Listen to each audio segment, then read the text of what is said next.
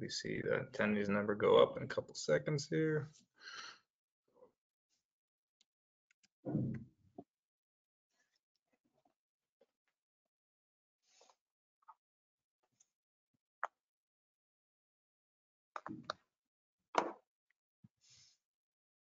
Uh-oh.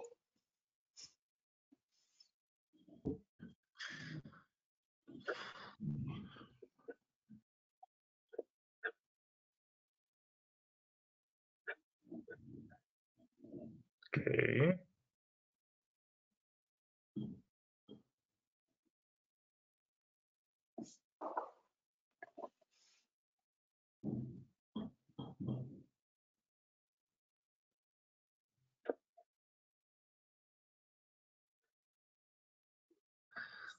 Having deja vu.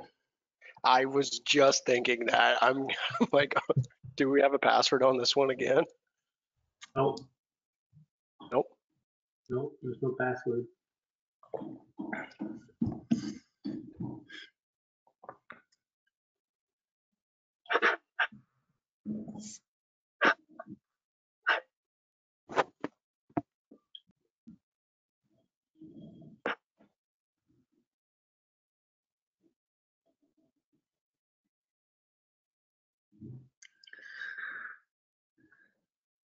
No, no password guaranteed.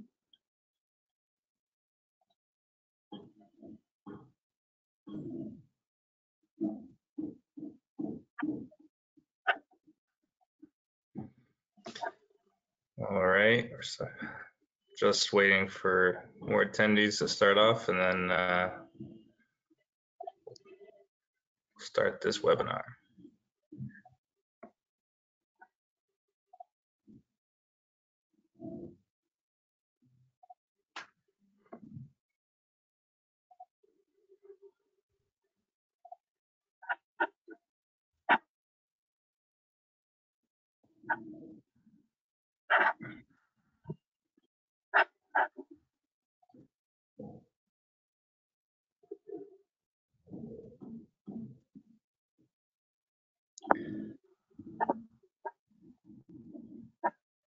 Give it a couple more minutes. We'll get going.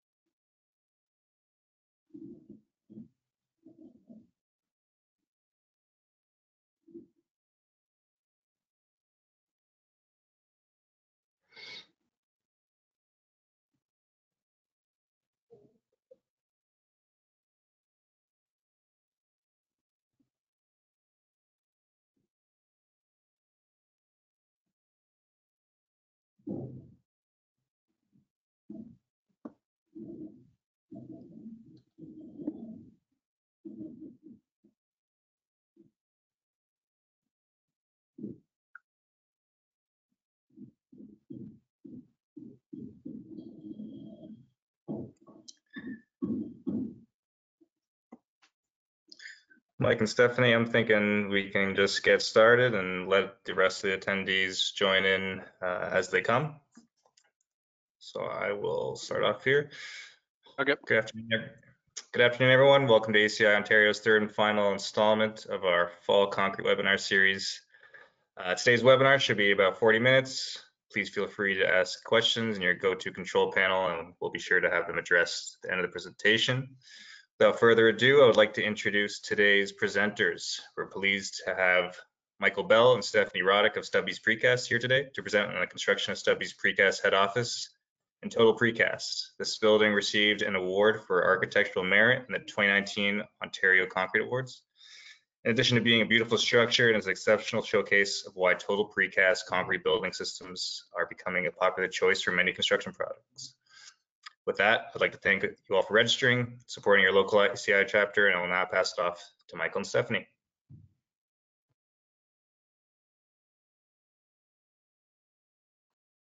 Thanks, Danny. Um, as he mentioned, uh, we are Stubbe's Precast. Uh, both Mike and Steph are here. So just a little bit about ourselves. Uh, my name is Michael Bell. I've been with Stubbe's for almost six years now. I've done a little bit of everything with this company. I started off installing the product uh, out on site. Then I went into the plant for a very short stint to learn how all the products are manufactured and uh, put together. Then after that, I got myself into the drafting area where I learned all the details and connections to draw them and put together entire hollow core like shop drawing. Uh, then lastly, and where I am currently, I transitioned into the sales area where I started off in estimating uh, with just kind of regular hollow core jobs, progressing my way into the total precast jobs. And now I'm currently a commercial sales rep for Stubbe's Precast, stu- uh, specializing in the total precast builds. Hi, I'm Stefani Rodic, and I started as an estimator, and I'm still in that role um, today. So, been almost about um, three years with the company. I'm also part of the social media um, coordination and our marketing with our website. So, kind of doing a little bit of that side of things as well as working with our sales reps in the total precast side, like Mike was saying. Um, so today with Stubbe's Precast, we're going to focus on our head office, um, but kind of go to a background of what exactly is Total Precast because not everybody knows. So it's a pre-designed with offsite manufactured concrete products um, to build the entire structure of the building. So this includes hollow core, the, which are the floor slabs, walls, columns, and beams, but we also do uh, double T systems for parking garages. Uh, we're also in the agricultural market.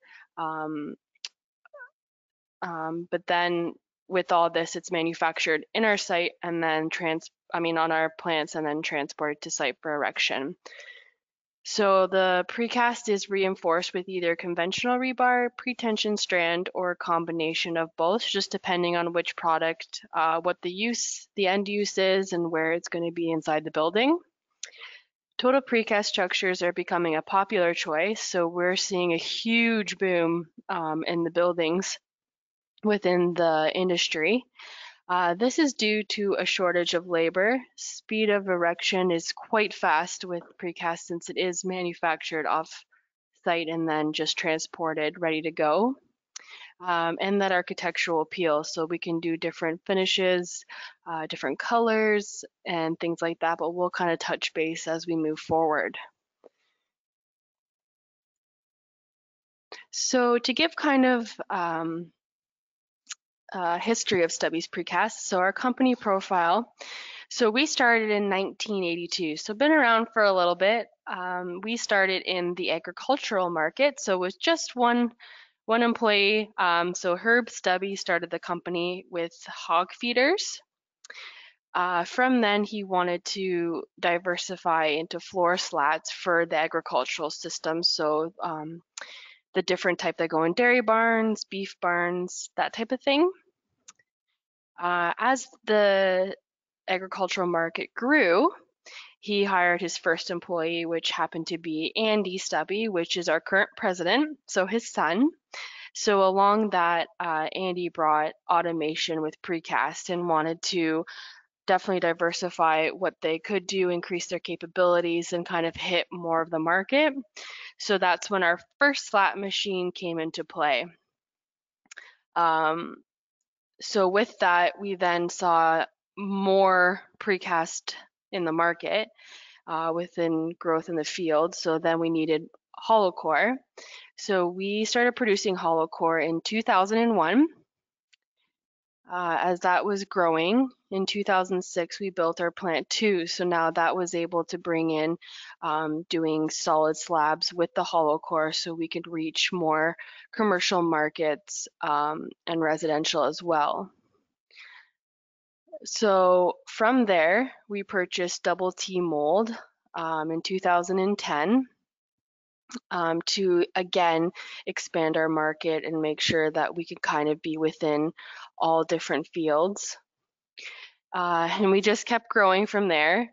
And then in 2011, we actually doubled our plant uh, size because uh, we were in such demand with the hollow core and our other precast products. And then we were going into the total precast market.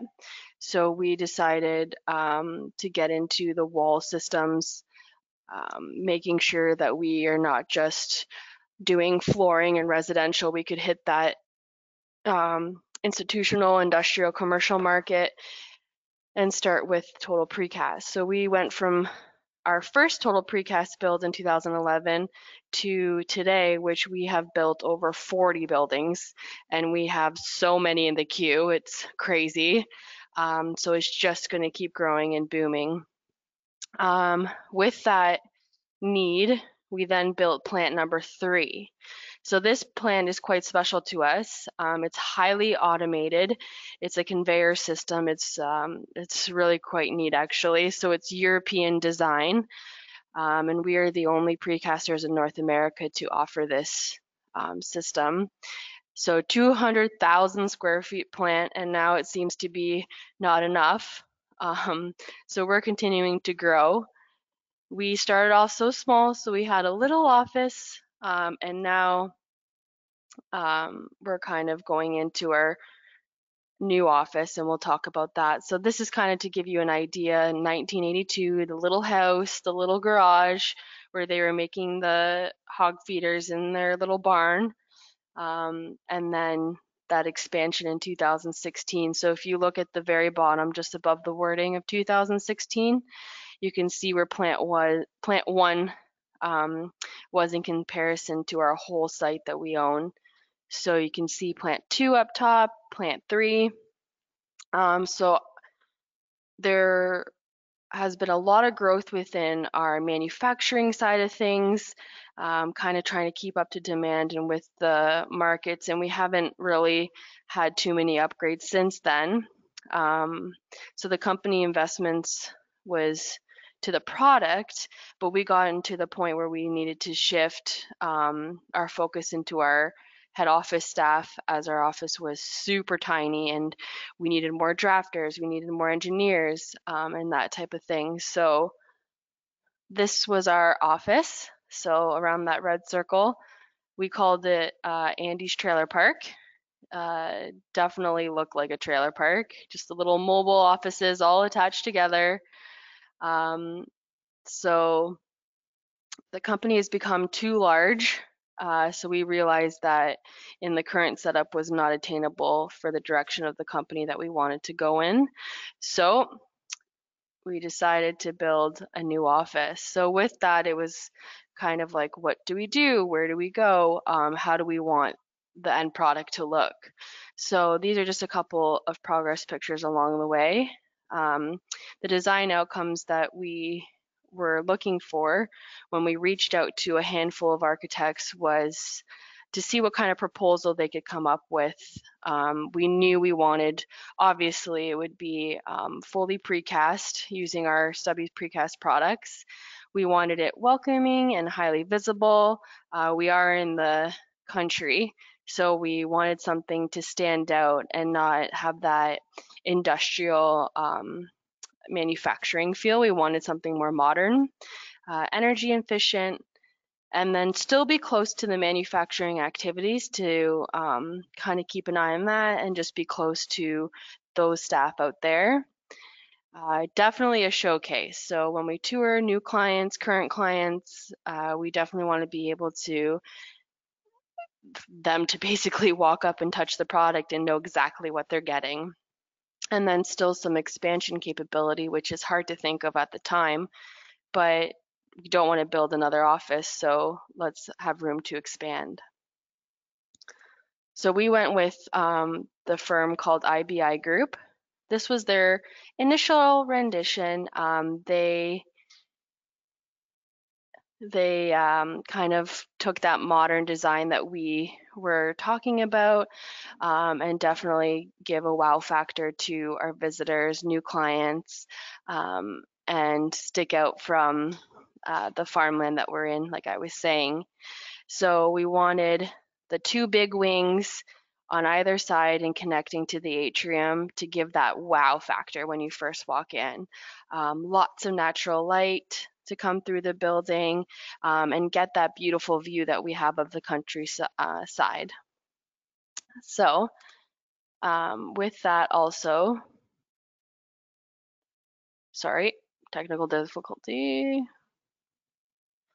These are kind of the areas that um, kind of stand out to the building. So we have multiple boardrooms. Before it was this tiny cram little space fighting over who's going to have what meeting when. Now there's lots of room. Um, the offices for the team uh, management to be able to have room um, for discussions and that welcoming feel. Uh, we have a fitness area for the staff um, to keep our wellness in check that open atrium I was talking about, so we'll kind of go into detail later on about that. Clear sight lines, we wanted to be able to walk up to any of the staff, and as you can see, there's still room uh, definitely to add in more uh, desks. And then a nice games room in our lunchroom, so a larger area for everyone to kind of connect and um, take ease from the computer and a little different right now with COVID, but uh, definitely try and still connect with everybody. So before I get into the little snippet to see the build, so this office is 40,000 square feet, so definitely larger than our original. The precast erection time uh, was about two months, and it definitely could have been faster. As I was saying, the erection speed for precast is um, quite impressive. Uh, but it kind of sat on the back burner. We took our other projects um, to build first and then kind of used this as a filler for our teams when we had a, a minute to spare. So the entire building took nine months before we could move in. And here's a little quick video of the installation.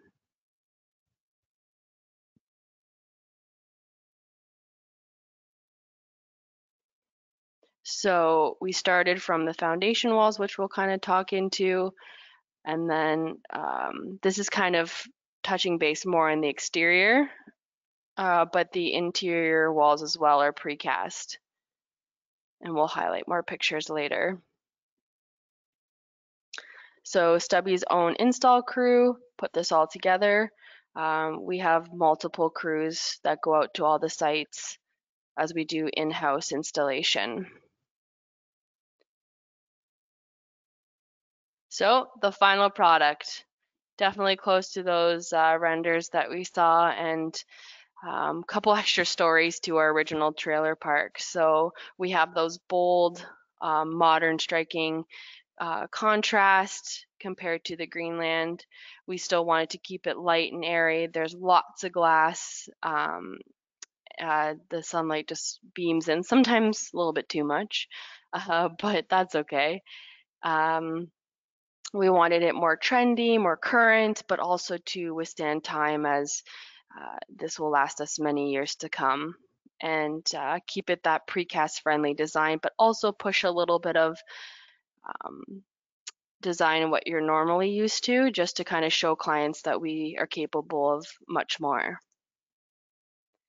So this is another overview shot of our current uh, plant our storage, our office. We built a brand new install shop just behind the office. Um, so definitely we're continuing to grow and meet the demands that uh, are currently in play. So to go into a bit of the design features, going to hand it over to Mike.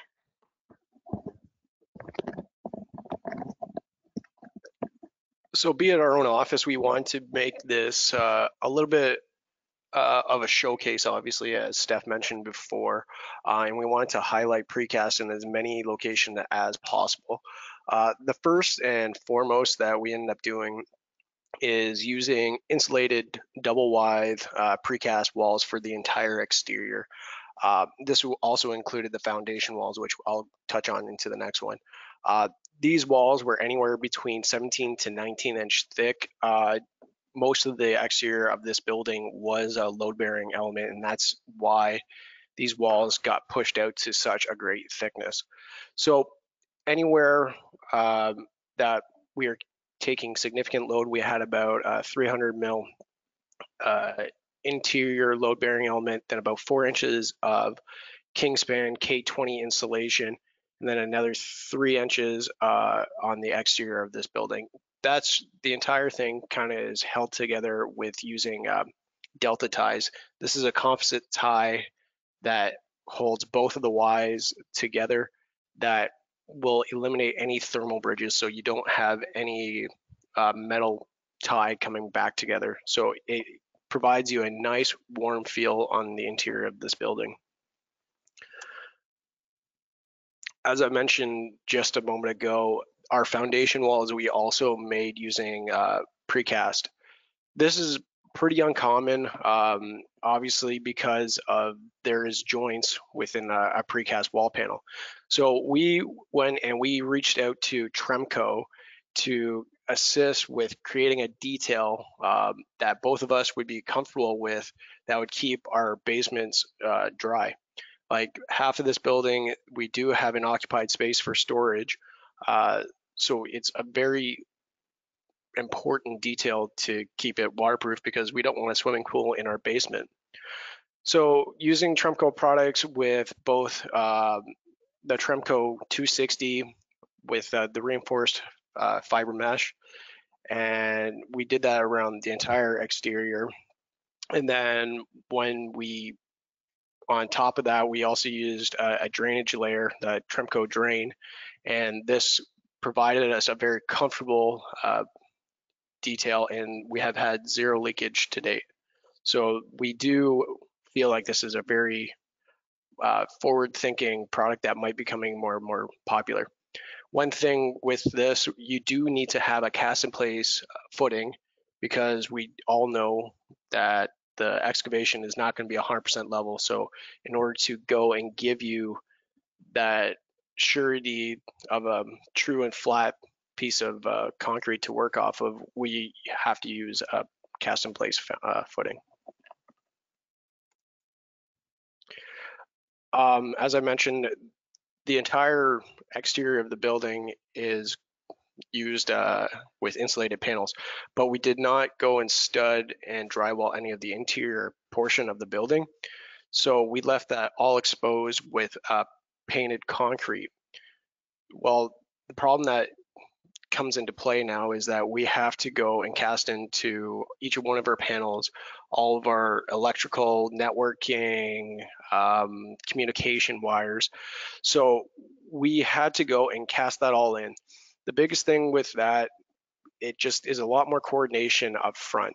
We use um, a 3d modeling software named Tekla using Tekla we were able to go and draw in all the communications lines and uh, ducts that we would have to go and put into normally what would be a stud. And the electrician would have a lot of free flowing ideas in order to do this. To make this a lot easier on the electrician rather than having to fish through every single panel, we only brought it from above the drop ceiling to down into the panel itself. So he could go and play around with his wirings everywhere within the, the drop ceiling. So it made him bring from whatever networking area or electrical area in the building. It, it, gave him a lot of flexibility rather than have to fish through only concrete. This one I, I definitely think was a very uh, nice detail that we were able to achieve um, and a good compromise for both us and the electricians. Um,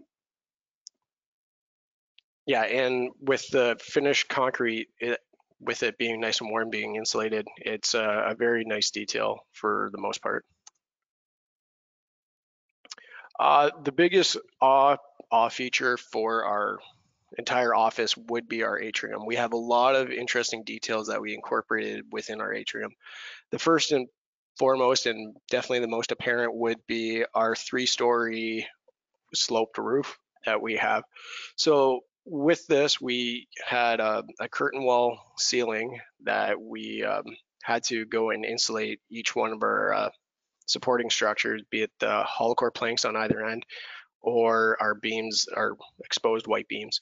So we built the entire curtain wall structure on top of it with um, breaks within the connecting hardware so we wouldn't go and have any thermal bridging coming back into this building.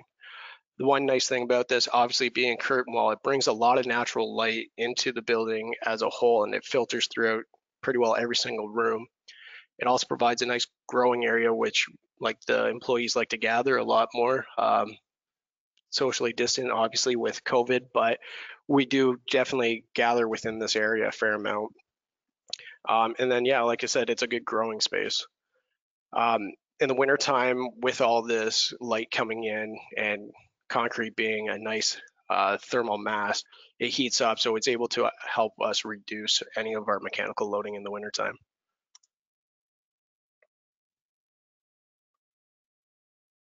Oops. Um, another part within our our atrium is we have a bunch of floating catwalks and on top of one of the floating catwalks we have our we call it our signing room it's our probably our most fancy boardroom within it so the catwalks themselves we've uh, made them utilizing double t's uh, double T is obviously more well known for parking garage structures and not necessarily known as the most architecturally pleasing uh, precast product out there. Uh, we actually find it suits extremely well within um, our area because we've painted them white to match the existing walls around. We are able to hide a bunch of our mechanical that we had to get from both sides of the buildings underneath them. And it with putting our, the one boardroom on top of it, you're definitely looking a lot more towards our boardroom than you are looking at the double T. So as a whole, the entire feel of the precast uh, double T and boardroom comes together um, really nicely. Within our uh, our boardroom, we were able to utilize uh, both a precast table. Uh, they actually we didn't manufacture this; we had some others do that for us. And then we also ourselves we were able to go and make some custom lights using uh, hollow core planks where we filled them solid and we're able to put in nice little sleeves that we could go and put pot lights. It's definitely a great learning uh, tool and uh, we're very, very happy with the way this came out. Uh, also within it, we do have our very large and interesting uh, feature feature stair.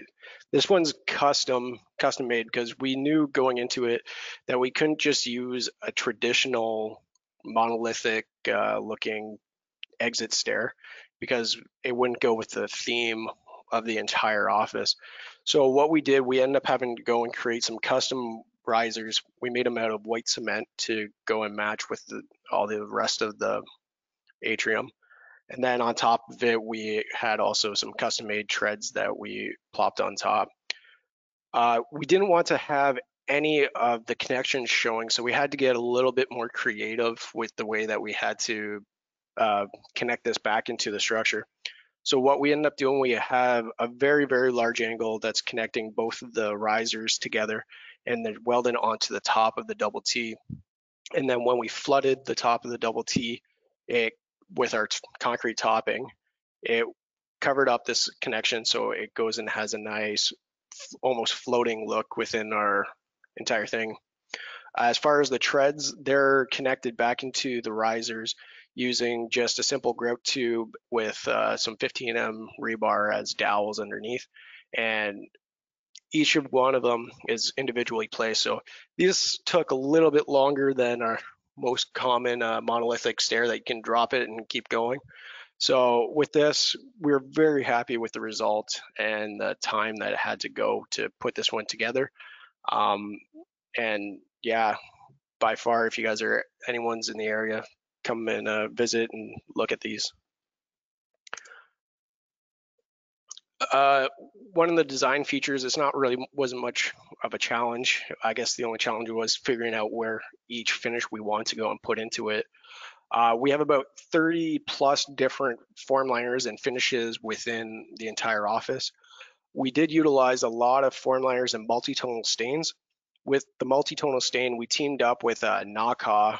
Um, they're a concrete stainer, and they've done a fantastic job for us making it go and give us a very real natural look to our precast form liners.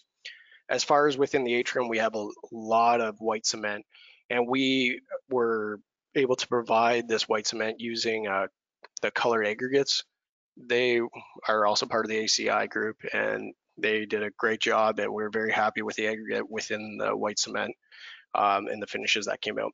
So I'm just going to go and click through a couple of various form liners and uh, finishes that we had. Um, and then when I get to the end of it, we'll have time for questions. So one is this just natural stack stone. We actually use this for our water feature in the reception area. This one, be it just a wood siding kind of thing, tongue and groove option. This be it just a regular running brick pattern with a couple, multi-tonal stones. This we would offer with both kind of a smooth kind of finish, or this one actually has a more of a wired brush uh, style to it. One comment that we actually get with a lot of our brick is it the grout is just too perfect because no mason's going to obviously have everything exactly perfectly like spaced.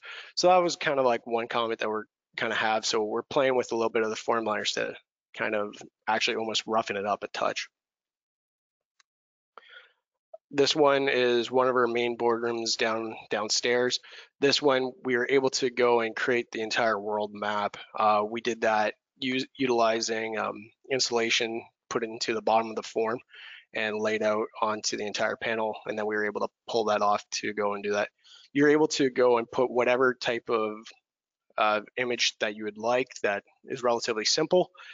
A lot, a lot of people now are commonly doing it for the, the building number for the projects that we're doing right now. This one be another uh, masonry style finish. Uh, this is more of a rougher style brick. This one's just more modern style. It's not like you have to stick with the masonry or um, as you're gonna see with the next one, this would be like a shaker style uh, kind of cedar shake. Some nice concentric circles, which are really popular now. This one is obviously a fluted uh, form liner, but this has a metallic finish on it. So this one actually came out looking exactly like a steel kind of siding, but the best part about it, it's never going to rust. So you're able to get this very true metal look within your building that you'd want for maybe an industrial kind of style, but you're never going to have to worry about the entire exterior of the building going to be finished uh, rusting. And then lastly, this is considered our graphic concrete. So with this one, you can lay down whatever image you want. This one obviously being a, a crane kind of image. And what they do is they take a more or less a large piece of, of cardboard and they impregnate uh, a concrete retarder into the entire piece of cardboard.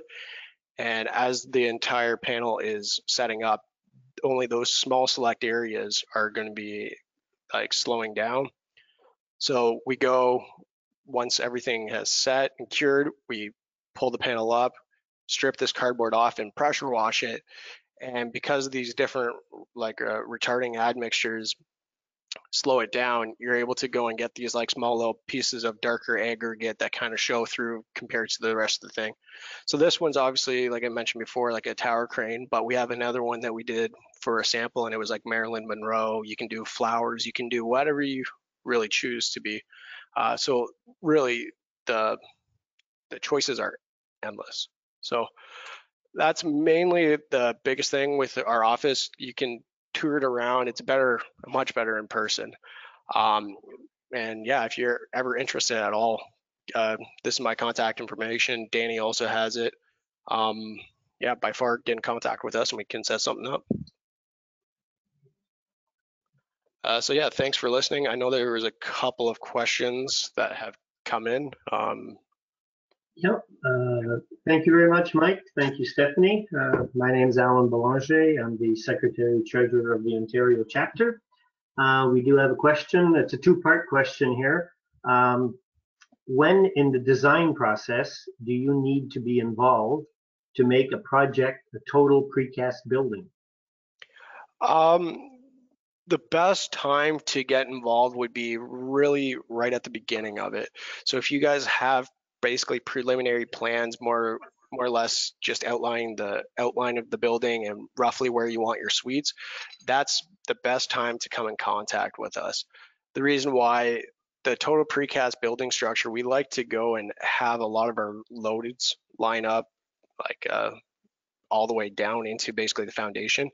So we would like to play with your layout in order to give the most optimal uh, total precast layout for you. So by far, it's best to bring us on at the beginning of it. And also, can a conventional structure be switched to total precast as an alternative? Um, well, yeah, I, I, I don't know directly what he means by uh, conventional structure, but yeah, def- definitely nearly any building uh, can be switched. Obviously, cost comes into uh, a play, and same with the layout that comes into play. So, like, we will look at pretty much any building and give recommendations. Uh, if the building we feel is suitable, we go and we'll help you out. If it's something that's uh, very much designed as a cast in place kind of style, we'll be open and honest with you. Uh, and finally, I think you answered this one already, but um, are footings cast in place and the foundation walls precast? Yes. Yeah. All right. Well, uh, once again, Mike, uh, Stefani, uh, thank you very much for this uh, presentation. It's a beautiful structure. Um, we'll have to maybe talk about um, coming down as the ACI chapter and doing a site tour one of these days. When, Yeah, uh, absolutely. Hopefully, when hopefully all this COVID-19 is over with, and we can assemble again uh, as a group. Yeah, absolutely. We'd be more than interested in uh, hosting that for you guys. Um, like you mentioned, once COVID kind of calms down a bit and we can have a lot more people uh, together, we would 100% be willing to do that with you guys. All right, thank you. And No to all the attendees, thank you very much for attending uh, our first, hopefully, uh, annual uh, Fall Concrete webinar series. Um, My thanks to all the speakers uh, over the past three days and to my co-organizers, uh, Danny Salvo, Stacia Van Zetten, uh, Richie Popoff, uh, thank you again, gentlemen and ladies, uh, and we will be talking to you soon. Have a good day.